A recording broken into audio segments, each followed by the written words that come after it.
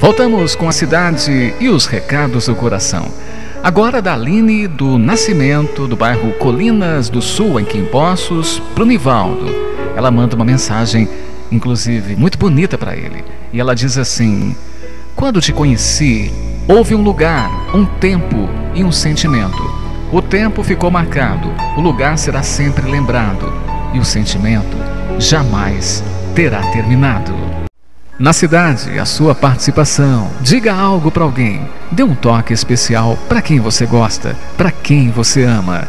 Cassiano, em Patos de Minas, Minas Gerais, envia um abraço para Selma, para o Sandoval e também para Jussara. Camila Guimarães, em Poços, para o Hélio, com uma dedicatória, com uma frase que ela escreve e diz assim: Te amar foi a melhor coisa que eu poderia ter feito na vida.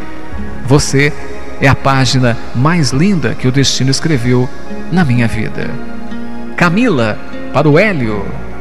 Já na estância São José, Thaís Lima está oferecendo a próxima canção para o Douglas, no Caio Junqueira. Rick Astley.